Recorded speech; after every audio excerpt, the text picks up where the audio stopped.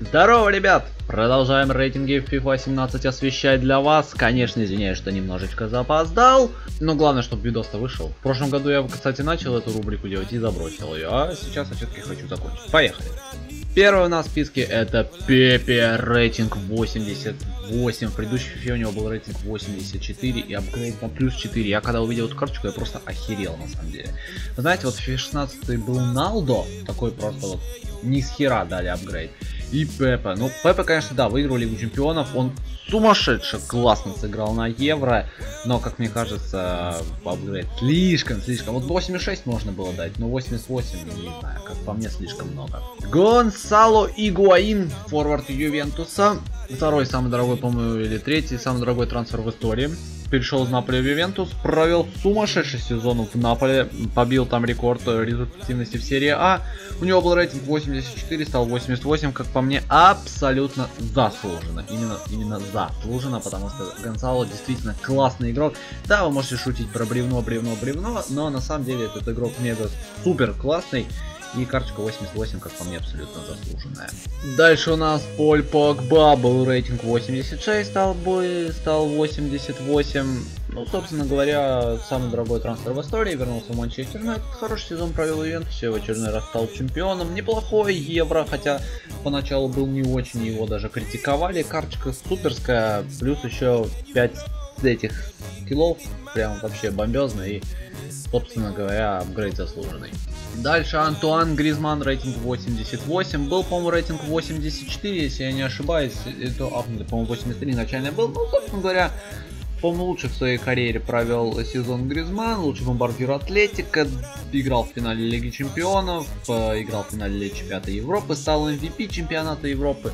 И рейтинг абсолютно заслуженный, как по мне. Тиаго Силва, был рейтинг 88, стал 89, я, если честно, не знаю, за что Тиаго апгрейднули, блин, ну вот э, он же много пропускать стал в этом сезоне из-за травм, и я не знаю, что-то, как мне кажется, не заслужил он этого апгрейда. С этой карточкой я не согласен. В принципе, вот так кратко. А про защитников что-то тяжело говорить, на самом деле.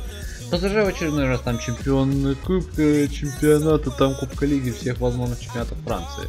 Поэтому как-то тяжело судить про Тиаго, Тиаго Силу. Лука Модрич был рейтинг 87, стал 89. Просто движок блин, всего Реал Мадрида, движок сборной Хорватии вместе, вместе с Иваном Ракитичем. Хороший, кстати, Евро провел гол, там классный, по-моему, турком забил.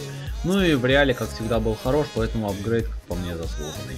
Серхио Рамос, у него, по-моему, был рейтинг 87, стал 89. И Серхио Рамос, действительно, это на самом деле, честно скажу, один из моих любимых игроков в футболе, именно Сережа Рамос. Блин, вот особенно его гол ворот Атлетика тогда в финале Лиги Чемпионов заставил меня разбудить чуть ли не всю квартиру. Собственно говоря, он выиграл Лигу Чемпионов. Ужасно провальное Евро для сборной Испании, если честно так сказать. Но, собственно говоря, как по мне, рейтинг 89 заслуженный, плюс он еще и в суперкубке снова забил, снова спас Реал. Красавчик. Дальше у нас Тиба Куртуа, у него был, по-моему, рейтинг 87, стал 89, и вот с этим я абсолютно не согласен. Бля, Челси провел херовейший просто чемпионат. Целый год был ужасным для Челси. Куртуа, блин, столько косячил. Куртуа полсезона пропустил из-за травмы, а ему дают апгрейд. Ну, Не знаю, если честно. Я не согласен. Месут Азил был рейтинг 88, стал 89. Сюда, по-моему, один из лучших тоже своих сезонов выдал. Дошел до полуфинала на Евро. Лучший ассистент АПЛ был, то есть как бы рейтинг абсолютно заслуженный.